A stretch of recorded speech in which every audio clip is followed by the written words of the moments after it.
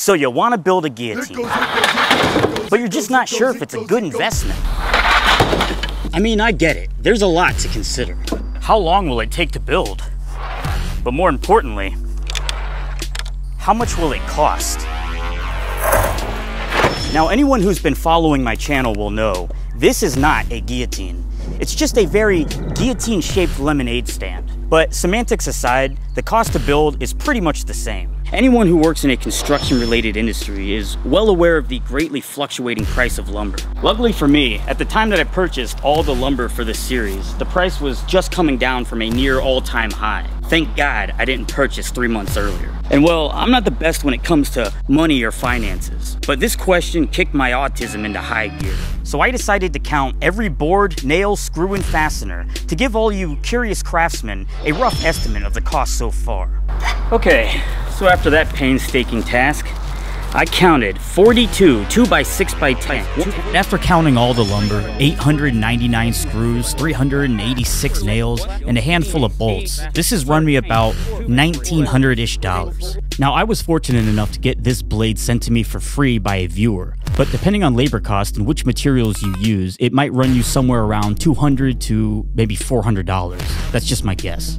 So for the price of rent on a single bedroom, 100 square foot apartment in the worst part of town, I was able to build this monstrosity. But the lemon chopper isn't done yet. And so in this video, I'm making a slight interlude to the main series to answer some questions, address some criticisms, and continue progress on my device as we approach the final chapter in this saga. Before I started this series, I had no idea how many guillotine building experts there were out there. Every step of the building process was met with responses from people saying how I was doing it all wrong, how I'm overbuilding, how I'm underbuilding, using screws when I should be using nails and nails when I should be using screws, how my railing system wouldn't work. Everything is so shoddily built. Like seriously, why would you put together anything like that? Not only are you overcomplicating it with additional bits and mechanics, but the structure isn't even sound. Even where it lands isn't properly secured. Blah, just blah, painted blade blah. figure you can't polish a turd. And of course, how I'm definitely using the wrong tools. Oh boy, did viewers have a lot to say about my tools. And I certainly got my fair share of comments criticizing me for not having the professional gear. Alright, I mean I get it. I'm not a pro. I'm just kind of using whatever I got. If it works, it works. Maybe they're right. Maybe it's time for me to upgrade my equipment, to get a real drill, a professional drill, one that people can't make fun of me for in the comments. So after a lot of thinking and a lot of research, I decided to upgrade my equipment and I got this. Black & Decker 1500 RPM corded drill. Corded so that my battery stops dying on me. Infinite power all day long. Honestly, as a non-contractor, it's pretty funny hearing how much power tool brand loyalty exists in construction world. Why DeWalt? Why Milwaukee? Crap!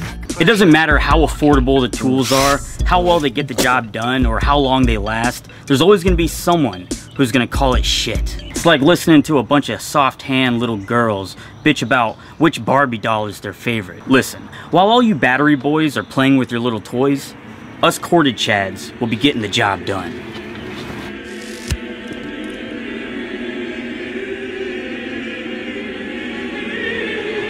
How long do you live after getting decapitated? There's this rumor that I always hear that a human can survive for several seconds to minutes after being decapitated. I decided to look into it, and some of the cases I found include the 1793 execution of Charlotte Corday, who was guillotined after killing Jean Paul Marat, a radical journalist whose publications were prominent in fueling the French Revolution. After her decapitation, a fellow named Francois Legros, I don't know how to pronounce that, supposedly lifted up her head and slapped the cheeks. And according to onlookers, this caused Corday's face to show an angered expression and her lips to move apart as though she wished to speak. Another such incident is that of a physician named Dr. Beaurieux, who attended the execution of Henry Languille.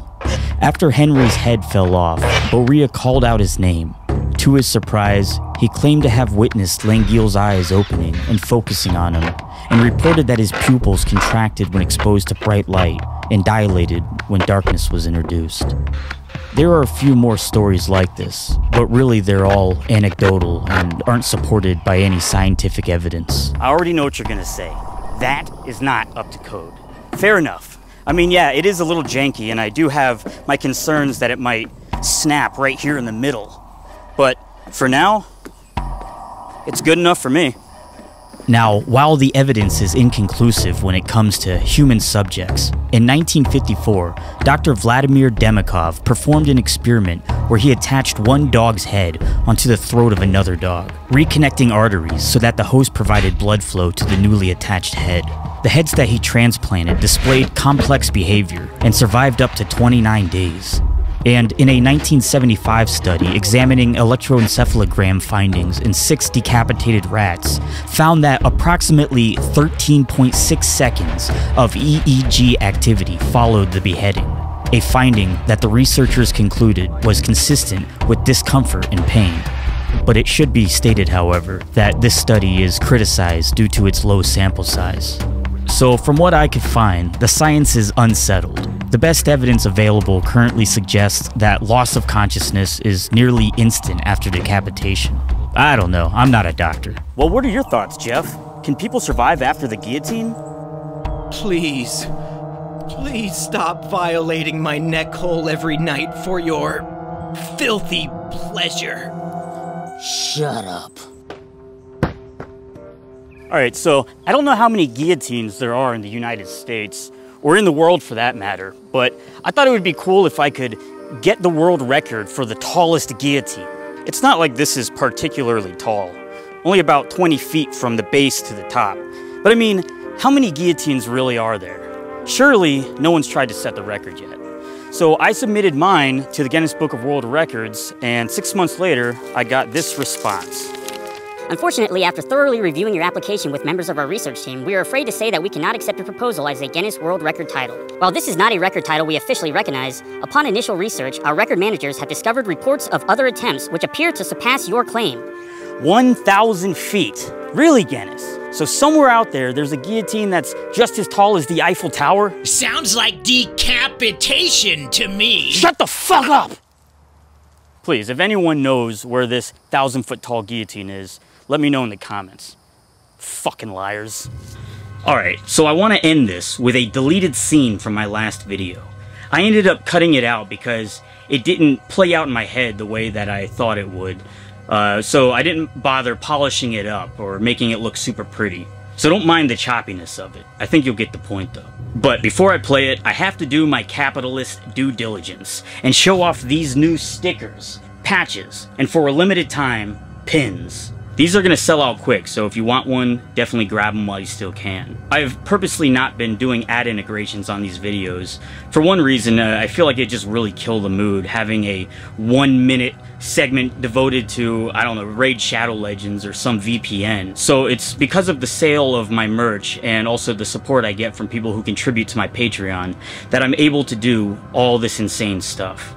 This series has been seriously probably the most rewarding thing that I've done on YouTube throughout my entire career. And I owe it all to you. I know that a lot of you are probably sick of me just talking about guillotines for almost a year now, but the series is coming to an end. There's only one video left, and then I can finally end it all for good.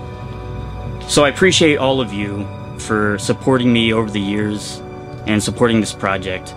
So stay tuned for what's to come. I don't think you'll be disappointed. And now, here's the deleted scene with Carl, the Code Inspector. Thanks for watching.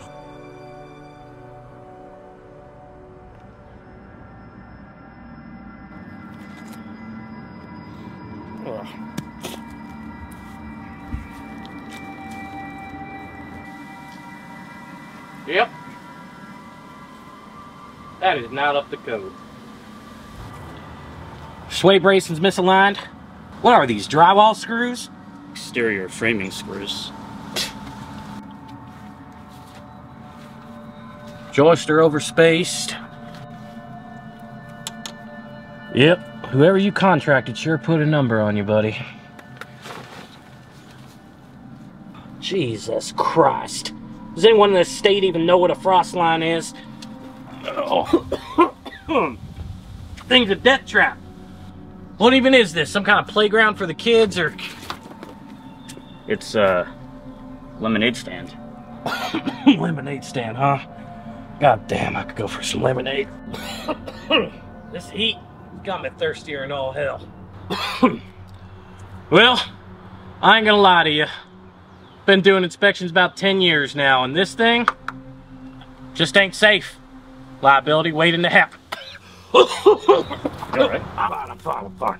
Just thirstier than all hell. Tell you, friend, you wouldn't have anything I could uh, wet my beak with, would you? Sure would appreciate the hell out of it. Oh boy. Hate to be a bother.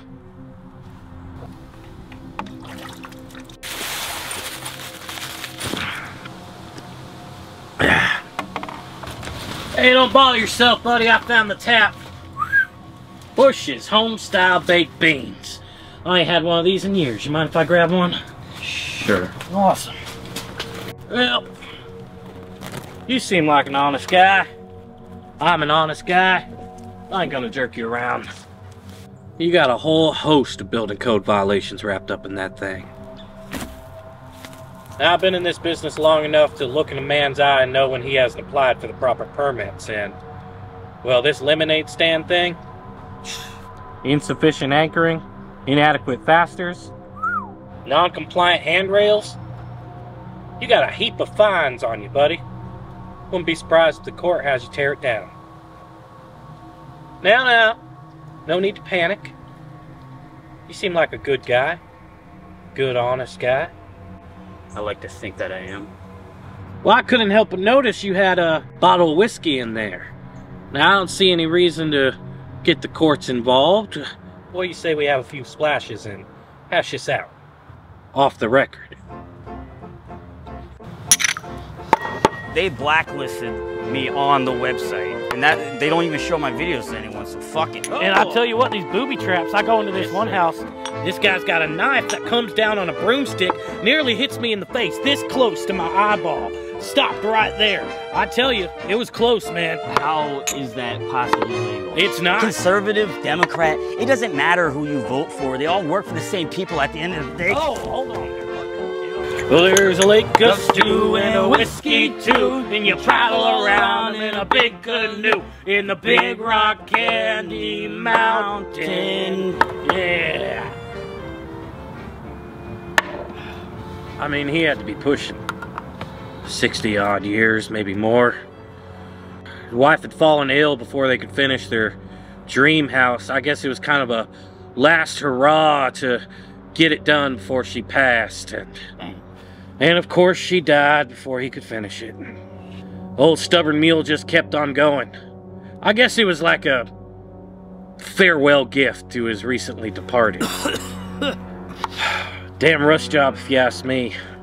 I mean, these old folks, they just got no consideration for modern construction standards. I'm talking unlevel framing, improper decay protection, not a damn plumb or level board to be found. He had his outlets spaced so far apart to make your hair stand on end. None of them GFI, mind you. And there I am, risking my life waiting for my foot to fall through the floor, the whole damn thing to fall on us. That's the risk I take to ensure the integrity of proper code enforcement. I mean, what choice did I have? It was a death trap. Had to be razed to the ground. Liability waiting to happen. Well, they got a Dollar General up there now, so locals are happy. Damn dangerous business. Well, listen. I appreciate the hospitality, I really do. You're a nice guy, but I don't think I can let this one go. It's too dangerous.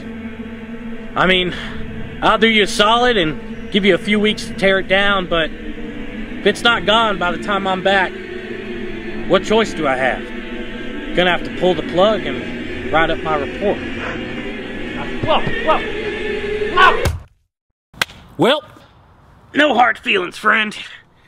Just the way it goes. Gotta put food on my table just like the next man. Well, thank you for the hospitality, and uh, we'll be in touch.